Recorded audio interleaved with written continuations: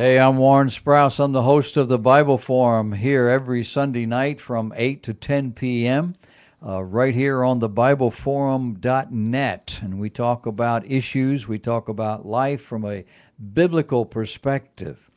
This is 4th of July weekend, and I couldn't resist. I have to read to you the Paul Harvey Declaration uh, that he issued back in 1974 relative to the signers of the Declaration of Independence, talking about the high price that these men paid, those who signed this declaration, some actually dying as a result.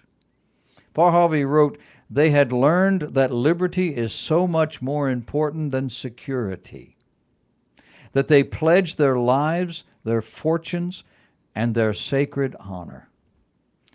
Of the 56 signers of the Declaration, few were long to survive. Five were captured by the British and tortured before they died. Twelve had their homes from Rhode Island to Charleston sacked and looted, occupied by the enemy, or burned. Two of them lost their sons in the army. One had two sons captured.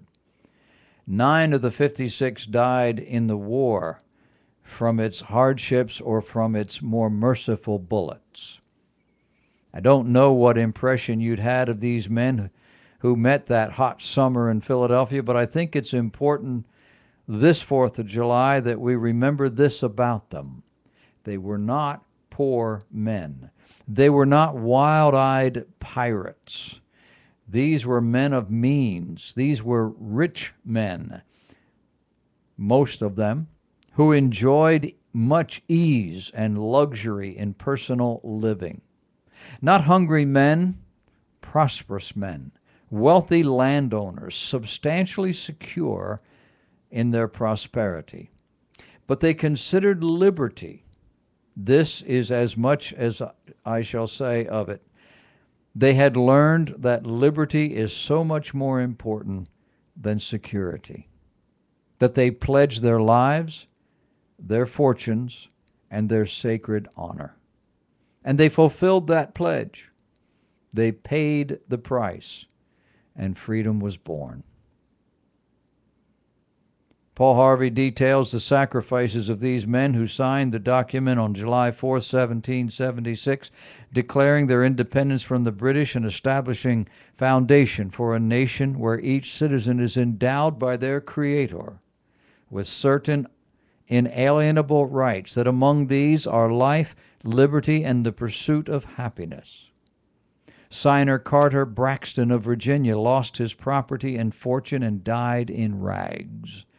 Thomas McKean of Delaware was so harassed by the enemy that he was forced to move his family five times in five months. He served in Congress without pay, his family in poverty and hiding. John Hart was driven from his wife's bedside while she lay dying.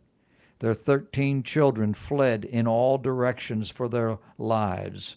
His fields and grist mill were laid waste. For more than a year he lived in forests and caves and returned home after the war to find his wife dead, his children gone, his properties gone.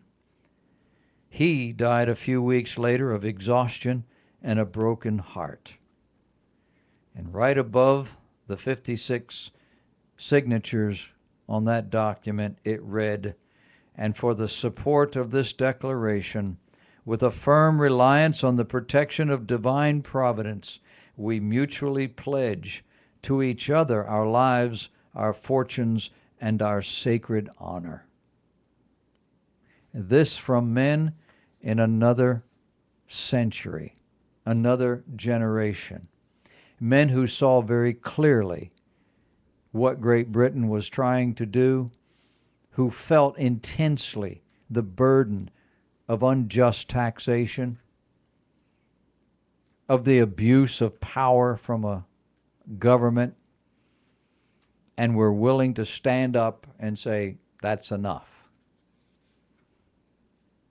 Would that we had men and women of that character of that ilk today in a time when we are suffering almost as badly as these folks did in 1775.